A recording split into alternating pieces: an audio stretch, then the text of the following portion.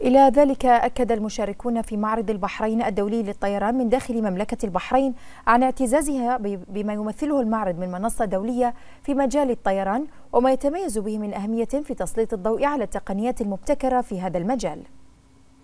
شهد معرض البحرين الدولي للطيران حضور لافت سواء من الزوار أو من كبريات الشركات العارضة وتخلل المعرض عدد من الفعاليات منها المؤتمرات والندوات وعرض لأحدث التقنيات التكنولوجية والذكاء الاصطناعي.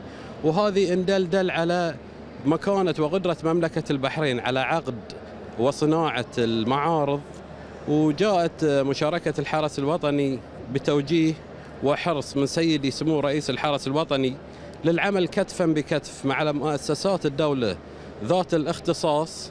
والعمل على آه، سعيا لتحقيق أهداف مملكة البحرين. الحمد لله فضله. اليوم إحنا انتهينا من إدارة النسخة السابعة من معرض البحرين الدولي للطيران. آه، نجاح باهر الحمد لله حضور كبير.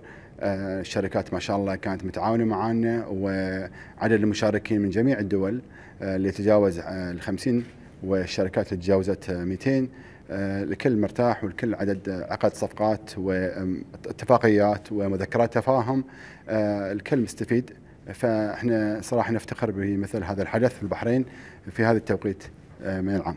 البحرين قادرة على إدارة مثل هذه المعارض وبالتالي آه، نجذب الكثير من الجمهور لمملكة البحرين في المعارض المقبلة خصوصا في المعارض العسكرية والمعارض المتخصصه في مجال الطيران والفضاء.